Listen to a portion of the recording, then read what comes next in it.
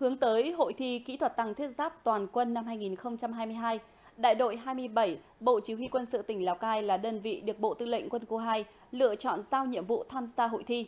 Thời gian này, đơn vị đang tích cực chuẩn bị với quyết tâm đạt kết quả cao nhất.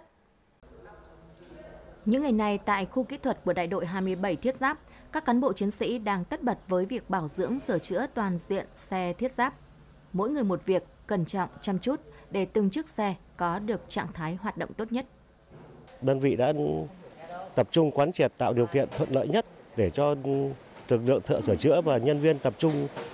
ờ, đồng bộ bảo dưỡng sửa chữa, tập trung vào cái sáng kiến về cái cải tiến ờ, của ờ, hệ thống ly hợp để giúp cho người lái xe là được nhẹ nhàng hơn khi ra vào số thuận tiện hơn. Hội thi tăng thiết giáp toàn quân năm nay gồm các nội dung thi xe tăng thiết giáp tốt, khai thác xe tăng thiết giáp giỏi, thi hoạt động ngày kỹ thuật, khu kỹ thuật, thi đề tài sáng kiến, cải tiến kỹ thuật và thi nhận thức. Để chuẩn bị cho hội thi, từng nội dung được chỉ huy đơn vị quán triệt cụ thể. Đặc biệt, đơn vị đã chuẩn bị 5 sáng kiến gắn với công tác kỹ thuật tăng thiết giáp sẵn sàng cho hội thi. Trong ờ, đơn vị thì luôn ờ, nêu cao tinh thần đoàn kết, thường xuyên là sinh hoạt cũng như đơn vị để nắm bắt tâm tư nguyện vọng của từng à, cán bộ đảng viên cũng như quân nhân chuyên nghiệp, hạ sĩ quan chiến sĩ đơn vị để giải quyết những cái à, nhu cầu chính đáng. Đến thời điểm này, mọi công tác chuẩn bị cho hội thi cơ bản đạt yêu cầu đề ra.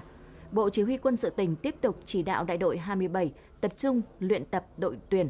tổ chức huấn luyện, nâng cao năng lực của đội ngũ lái xe, thợ sửa chữa, bảo đảm tốt tình trạng kỹ thuật cho nhiệm vụ huấn luyện sẵn sàng chiến đấu, củng cố cảnh quan môi trường doanh trại khang trang, xanh, sạch đẹp. Thành lập đội tuyển, tổ chức ôn luyện, sâu kỹ, nắm chắc lý thuyết, thành thục động tác,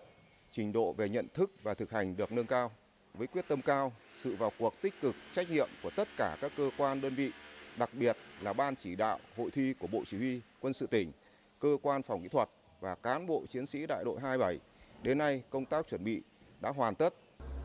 Với sự chuẩn bị chu đáo về mọi mặt, cán bộ chiến sĩ đại đội 27 Thiết Giáp Bộ Chỉ huy quân sự tỉnh tràn đầy quyết tâm giành được thành tích cao trong hội thi tăng thiết giáp toàn quân được tổ chức vào những ngày tới.